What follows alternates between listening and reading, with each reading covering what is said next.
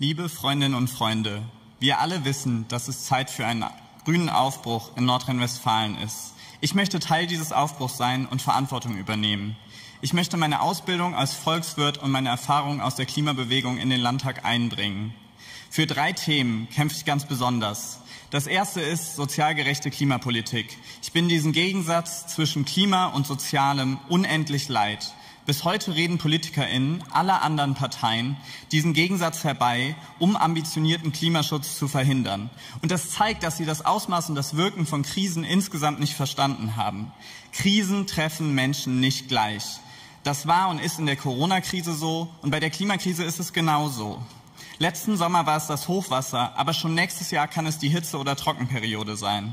Und auch da werden Menschen mit wenig materiellen Ressourcen, Menschen, die in schlecht durchlüftbaren Wohnungen an großen Straßen wohnen müssen, ältere und kranke Menschen, sie werden am härtesten getroffen.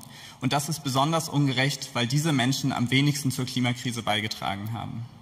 Deswegen trete ich für eine Politik an, die diesen Gegensatz überwindet. Soziale Gerechtigkeit kann es nur mit Klimaschutz geben. Mein zweiter Schwerpunkt liegt auf einer zukunftsfähigen Wirtschafts- und Finanzpolitik. Als Volkswirt beschäftige ich mich schon seit vielen Jahren mit der Frage, wie ein sozial-ökologischer Umbau unserer Gesellschaft und unserer Wirtschaft funktionieren kann. Wirtschaft ist immer eingebettet in Gesellschaft und Natur. Ohne Rohstoffe keine Produktion. Ohne saubere Luft und Nahrung kann niemand leben und arbeiten. Und ohne Sorgearbeit gibt es keine funktionierende Wirtschaft. Die Corona-Krise zeigt uns das immer wieder. Ich schreibe im Moment meine Masterarbeit über die nötigen Klimaschutzinvestitionen, die wir in Nordrhein-Westfalen brauchen und wie wir diese finanzieren können.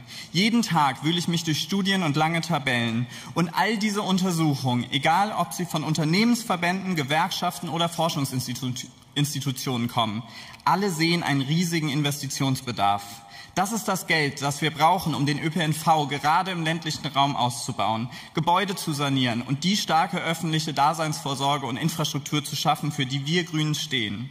Um das große Ziel Klimaneutralität schnell zu erreichen, brauchen wir einen mutigen Staat und eine mutige Landespolitik, die Geld in die Hand nimmt und verlässliche Rahmenbedingungen für Unternehmen schafft. Mein dritter Schwerpunkt ist der Einsatz für einen klimagerechten Strukturwandel. Im Rheinischen Revier wird sich entscheiden, ob wir in NRW und in Deutschland auf einen 1,5 Grad Pfad kommen. Ob im Hambi, auf unzähligen Demonstrationen oder in Lützerath. Ich kämpfe seit vielen Jahren für einen schnelleren Kohleausstieg. Aber natürlich ist das nur die eine Seite der Medaille. Die andere Seite ist der Aufbau einer lebenswerten, klimaneutralen und wirtschaftlich starken Region. Denn auch das ist sicher, wenn wir sozial-ökologische Transformation und, 1, und das 1,5 Grad Ziel ernst nehmen, ist nicht nur im Rheinischen Revier, sondern in ganz NRW und in ganz Deutschland Strukturwandel angesagt. Neben diesen inhaltlichen Zielen möchte ich daran mitwirken, die Inhalte, für die wir Grünen stehen und kämpfen, in die gesamte Bevölkerung zu tragen. Mein Wahlkreis ist ländlicher Raum mit drei Kommunen, die überwiegend von Landwirtschaft und Tourismus leben und zwei mittelgroßen Städten, die massiv vom Strukturwandel betroffen sind. Regionen, in denen, in denen wir Grüne bisher oft nicht die besten Erfolge erzielt haben. Ich möchte in diesem Wahlkreis mit einer positiven grünen Erzählung alle Menschen begeistern, egal ob jung oder alt, egal ob sie arbeitslos, Facharbeiterin oder Akademiker AkademikerInnen sind, egal ob sie seit Generationen in der Region wohnen oder neu dazugekommen sind. Wir alle wissen, wenn wir den grünen Aufwärtstrend fortsetzen wollen, dann darf die Begeisterung für grüne Inhalte und Politik nicht an der Großstadtgrenze aufhören oder erst mit dem akademischen Abschluss anfangen. Auch wenn es an der Umsetzung immer noch mangelt, es ist ein riesiger Fortschritt, dass Klimaschutz endlich so weit oben auf der Agenda steht. Das ist vor allem auch einer starken Klimabewegung zu verdanken. Ich bin seit 2016 Mitglied bei den Grünen, war und bin aber auch immer in der Bewegung aktiv.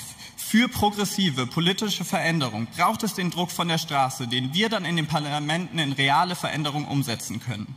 Ich bin politisch aktiv geworden, weil mich der Austausch und die Arbeit mit und für Menschen antreibt. Ich war als Praktikant an einer Förderschule. Ich habe einen einjährigen Freiwilligendienst in einem Projekt für arbeitende und Straßenkinder in Delhi gemacht und ich habe zwei Jahre in Vollzeit an einer Schule in Duisburg-Marxloh gearbeitet. Diese Erfahrung, auch in, insbesondere auch die außerhalb der grünen urbanen Wohlfühlblase, möchte ich in den Landtag einbringen. Ich werbe um euer Vertrauen für sozial gerechte Klimapolitik, für zukunftsfähige Wirtschafts- und Finanzpolitik und für einen klimagerechten Strukturwandel.